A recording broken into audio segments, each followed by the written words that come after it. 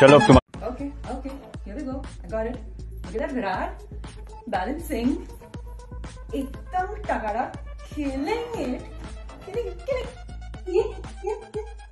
चलो तुम्हारी बारी. तुम भी एक करके दिखाओ.